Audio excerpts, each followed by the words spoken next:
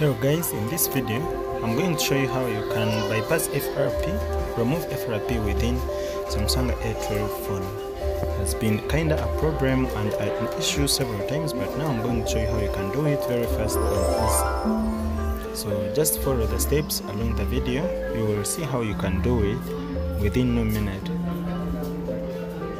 Here you click on Pandora tool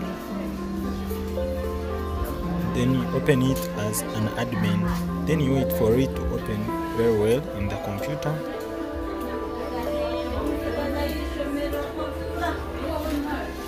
You wait for it. You just try to be patient whenever it's logging in. Sometimes it takes long time but it opens it very well without any issue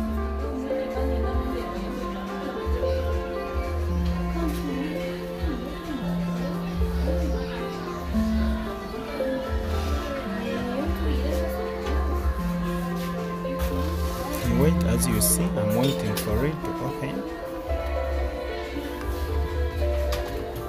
sometimes the phone takes long to respond but you have to be patient.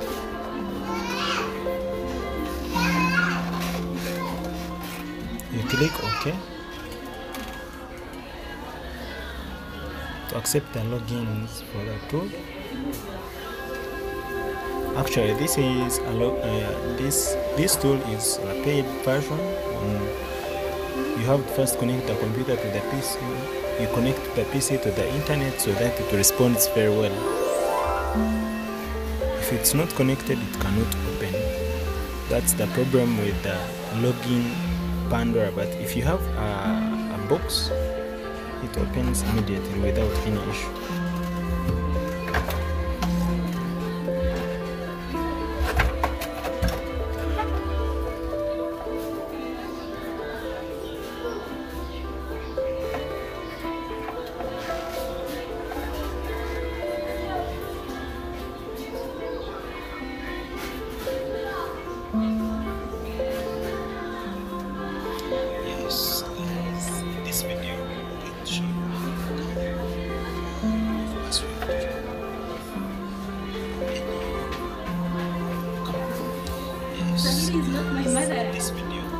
Here you select the brand or the model of the phone.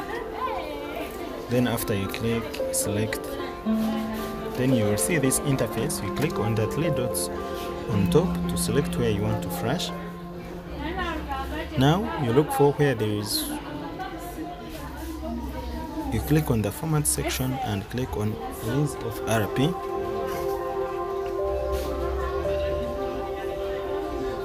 Or if you want to wipe the phone, you click on wipe.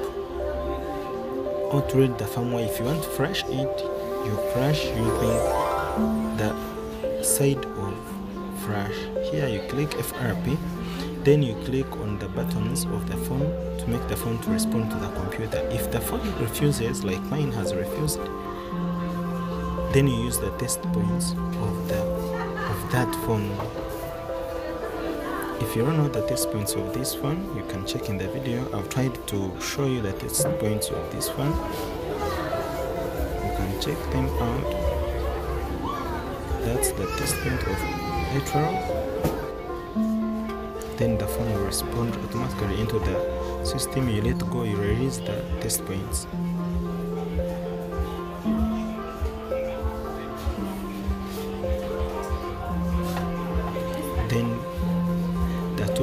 flash the phone removing FRP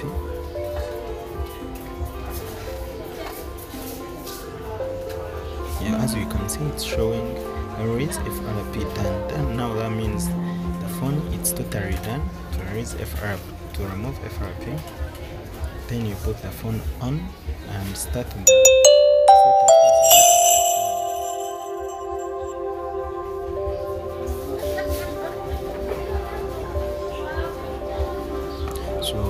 thank you guys for watching. Please subscribe this channel for more tech videos if you'd like to be helped out